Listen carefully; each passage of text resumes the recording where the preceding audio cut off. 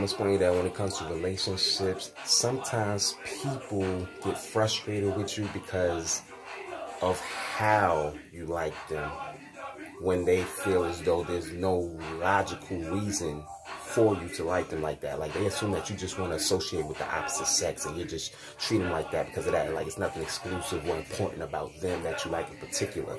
So what happens is they come across as ungrateful, but they're not ungrateful. But there's a difference between being ungrateful and not happy. When somebody's ungrateful, then like no matter what you do, like whatever version of love you give to them, they're always going to be unhappy because it's coming from you.